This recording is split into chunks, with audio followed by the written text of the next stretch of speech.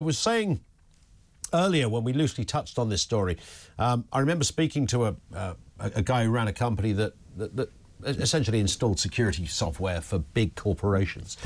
Uh, he was he said I'm staggered every day when I go into some of the big name corporations to discover they're still running Windows 95 and they've got pretty much no protection going on because it's seen as a a bit of a luxury expense that we probably don't need. Now, I'm sure that's got better.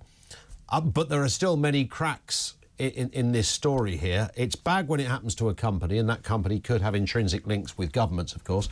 Uh, but when it happens to the, the country's databases and systems, uh, I mean, all hell could break loose here. This is a very serious place to be, and a, a, a warning from a man who knows his soil.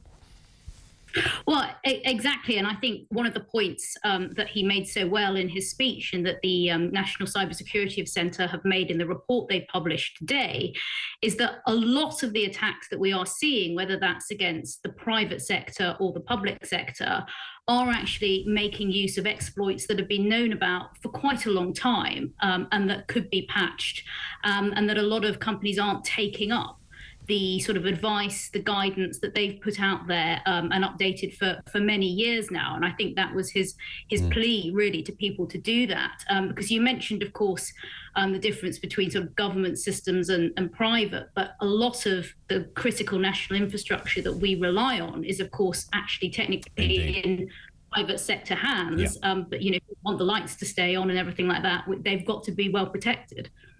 And in terms of the increase in this. Uh, I mean, Richard Horne talked about incidents tripling. He specifically mentioned Russia and China, and perhaps there's no surprises there. Um, these are, one would assume there are incidents here, Ruth, that, that were scuppered or they were able to stop them in their tracks or certainly reduce the severity of them. But the fact that they are there and on the increase should concern us all. Yes, I mean, there's there's a couple of um, reasons why we're seeing such a big increase, and, and they were highlighted quite well um, by um, by Richard Horne today.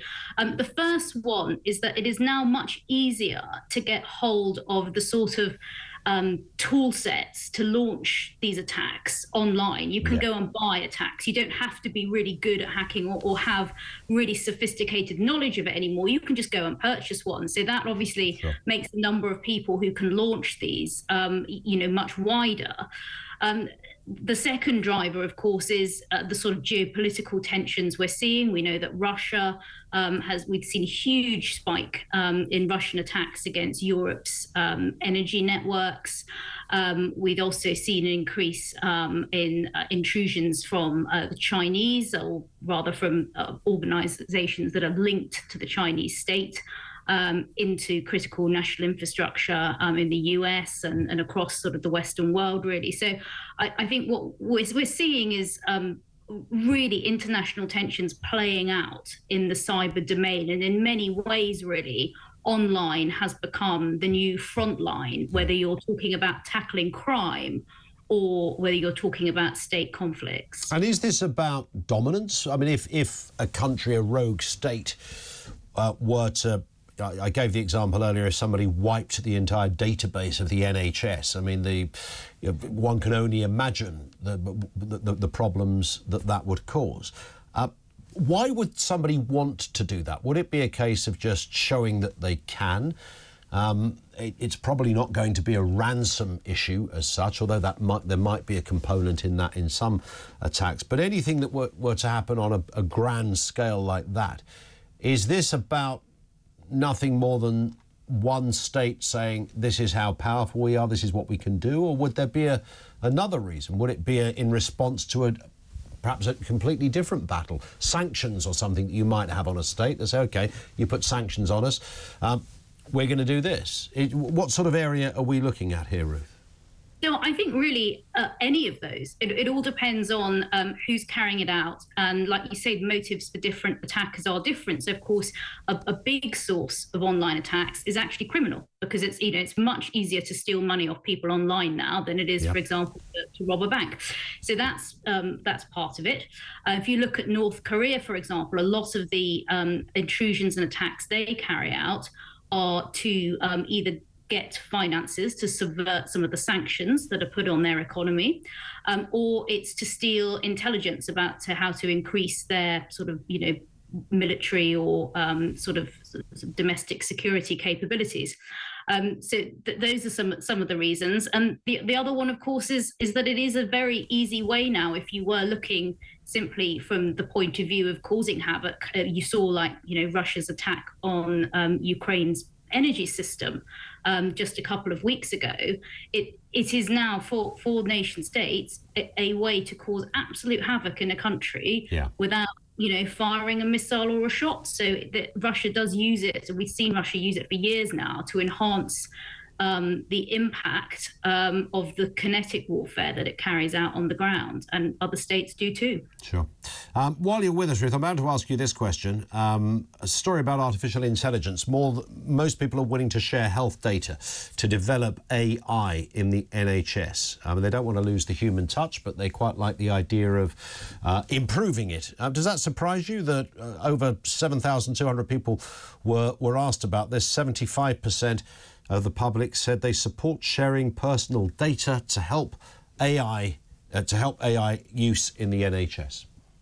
Um, it's, it's, a surprise. It's a nice surprise, really. Um, it brings me great joy because I think there have been numerous attempts to improve data, sh- even just sharing data across um, the NHS, not just for um, for the purposes of AI, and that's always run in, into problems um, with public opinion. And I think provided that there are sensible safeguards, that it's done well, the the you know the, the possibilities in terms of um, diagnoses and um, much faster diagnoses and, and new treatments, I think, are absolutely brilliant. So I do think it's something that we should um, be pushing ahead with. Obviously, the flip side of that, we all see news stories this year about attacks, um, cyber attacks on the NHS.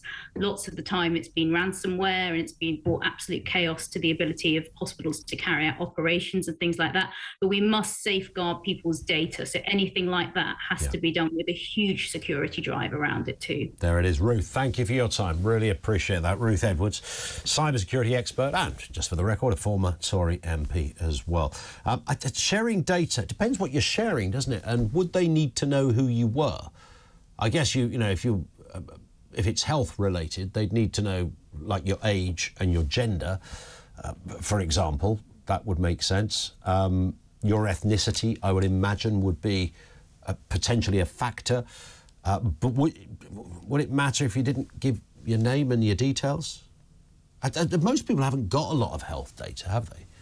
I mean, we've, you know, we've all got a tiny bit, but most people haven't got loads. I mean, it might be your bunions or your achy back, or you know, every now and again you you know you're susceptible to getting sunburnt if you're in the wrong weather. Um, I, I, don't know. I, I, can imagine most of it is deeply uninteresting to a database. Uh, naturally, there are people who have more, far more complicated issues. Maybe that is of interest.